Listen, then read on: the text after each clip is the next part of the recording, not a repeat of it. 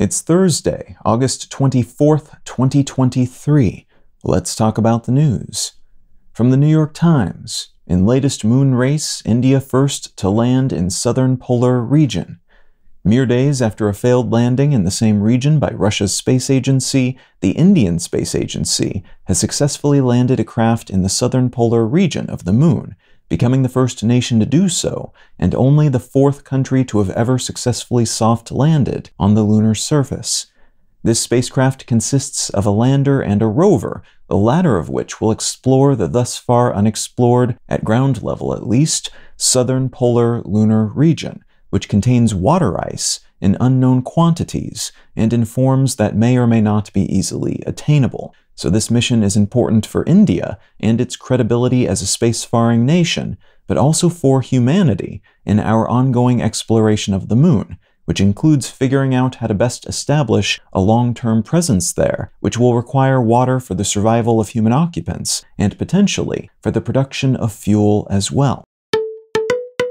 From Bloomberg, target of European space debris removal mission is itself hit by space debris. Somewhat less optimistic space news here. A portion of a European Vega rocket that broke off during a 2013 mission and which has been in orbit around the Earth ever since, tracked by the European Space Agency as part of a planned 2026 mission to remove such debris from orbit, has been struck by another piece of in orbit trash, breaking it into several smaller pieces. The EU Space Agency is saying this turn of events reinforces the importance of that 2026 Clear Space One mission, as this sort of splintering of orbital debris caused by collisions with other orbital debris is exactly what they're hoping to prevent, as more rockets launching more stuff into orbital lanes makes a theorized situation called Kessler syndrome, a term for cascades of such collisions littering our more useful orbits with fast moving junk, making space travel and the deployment of satellites borderline impossible, more likely which in turn makes operating in orbit around Earth more expensive and fraught.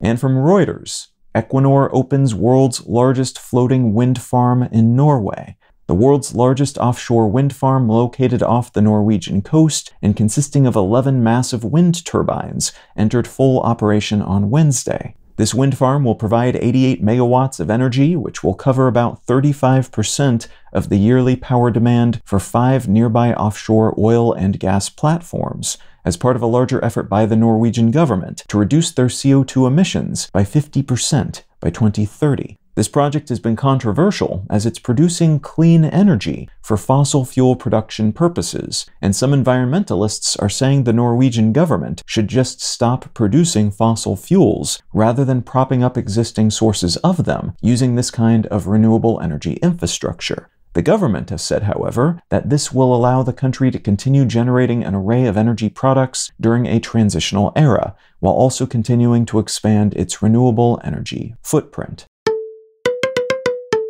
If you're finding some value in one sentence news, consider leaving a quick review wherever you get your podcasts and or sharing the show with a friend. You can find out more about this show or subscribe to the email version at onesentencenews.com. And you can support this and other related projects, like the Let's Know Things and Brain Lenses podcasts, at understandery.com.